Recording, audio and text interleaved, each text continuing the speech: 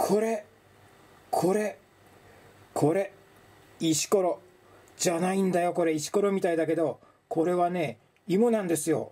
ムカゴなんですよ。巨大なムカゴです。ムカゴって知ってますよね？聞いたことありますよね？自然薯。いわゆる山の芋のつるにくっつく子供の芋のことですね。これはそれの仲間の巨大なムカゴなんですよ。もちろんこれは自然薯のムカゴじゃないですよ。自然薯のムカゴはこんなでっかくならないですからね。これは自然薯と同じ山の芋科の仲間で東南アジアに自生する植物。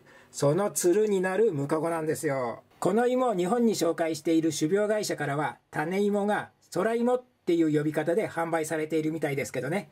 この空芋っていう呼び方はこの会社の登録商標みたいです。一般的にはエアポテトって呼ばれてるみたいですね。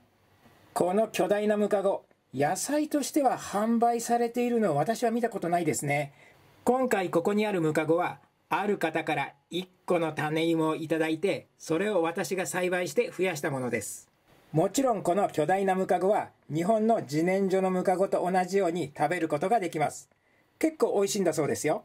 種苗会社のホームページを見るとコロッケとか煮物とかなんか結構いろんな料理に応用できるみたいなことが書いてあります。私の場合はそんな手の込んだ料理はできないので日本の自然薯のムカゴの食べ方に倣って塩をまぶしてから焼いて食べる。まあこれでもでかいからね。薄く切ってから塩をまぶして焼いてみますか。それともう一種類ぐらい作ってみますか。里芋の小芋を茹でて食べますよね。あれに倣って茹でてからそうだなお醤油でもつけて食べてみましょうか。この2種類のシンプルな料理を作ってみようと思います。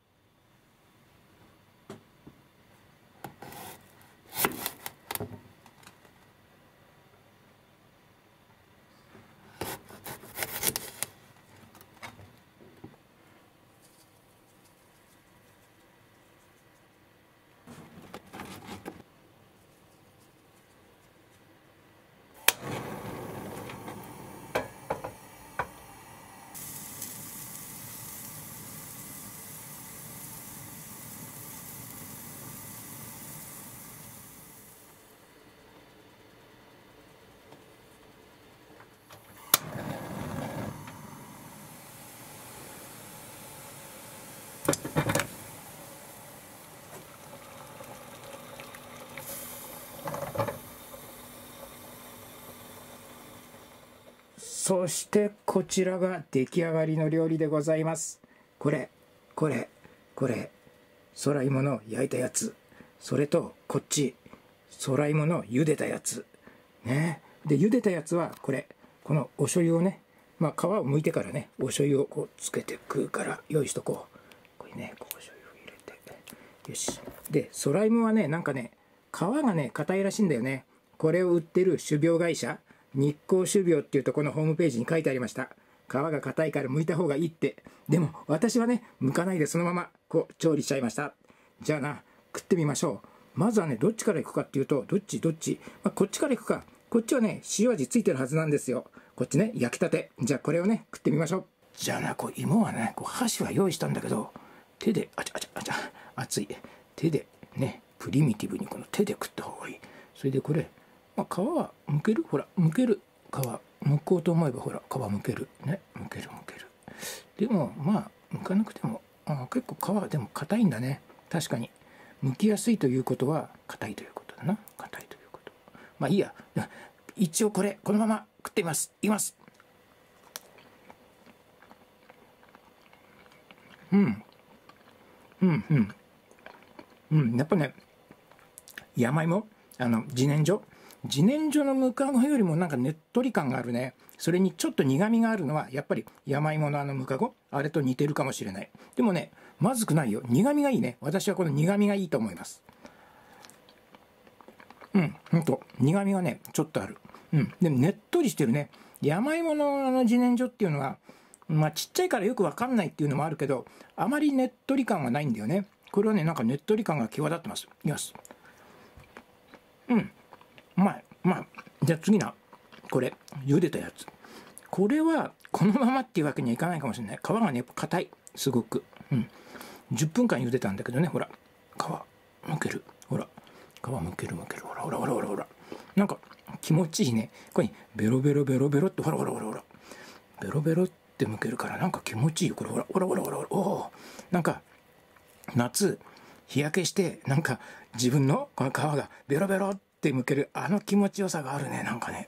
おおなんかすごい快感。おおほらほらほらほら。これが楽しい。なんかおほら。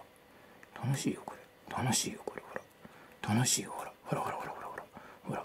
ね。なんかむける。むける。おこのイベントいいな。なんか酒飲みにはこういうイベントたまらないね。うん、この時間がいいんだよね。ほら、向いた、向けた、向けた。ほら、向けた、向けた。じゃあね、これ、ここ、つけて、お醤油、これ、ね、お醤油つけて、これでいきます。うん、これはね、うまい。なんかね、苦味がなくなるのかな。うん、茹でて。ね、なんか苦味がなくなったよ。うん。なんかね、栗とじゃがいもの中間みたいな、そんな感じの食感。あんまりねっとり感はあるけどこうなんか山芋みたいになんかねちょーって伸びないのほらね。もう茹でちゃったからかもしれないけどこうねちょーっていう感じはありません。これじゃあ今度いきます。うん。この食い方はねシンプルでいいかもしんない。でもでもこれちっちゃいやつじゃないとダメだね。巨大なやつっていうのは多分ね煮るのにすごい時間がかかると思うよ、うん、いきます。うん。うまい。なかなかいけますよ。なかなかなかなか。じゃあねなかなかいける芋をなちょこちょこっと食ったとこでやっぱりお酒に行っちゃうよね。こういうもんだからね。ご飯のおかずっていうよりも酒の魚でしょって感じでそれも今回は芋にぴったりのこのカップ酒。カップ酒いきましょう。それも生酒だぞ。生貯蔵酒ねこれ花火カップって書いてあるけど花火だ花火。ねこの花火を行かせていただきます。ではこの花火こう開けさせていただきます。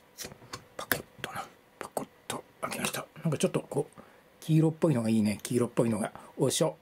まあそれ以上は言わない。でもおしょ。みたいな色みたいな感じだよ。いきます。あなかなかおいしいったらまたこの芋をいただくと芋いただきます。うん。うまいよ。この芋ねうまい。ただやっぱりねこれね食いたくても販売されてないからね。もしかしたらごく稀に販売されることもあるのかもしれないけど本当に私はね売ってんのなんて一回も見たことないですよ。お店でだよ。お店でね。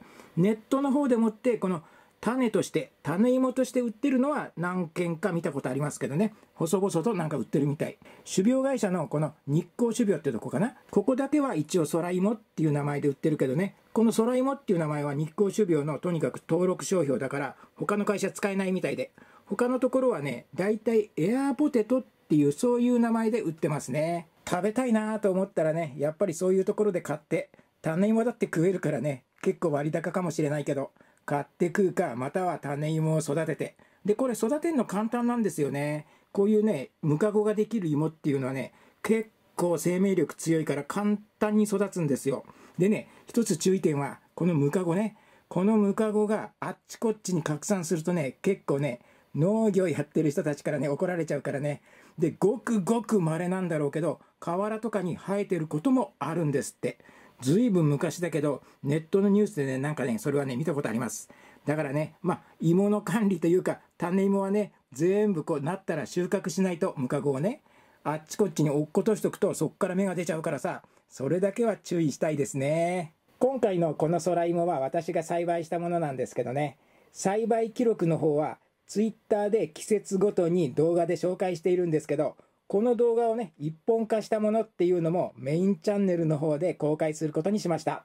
近いうちに公開しますので、気になる方はそちらの方もぜひともご覧になってください。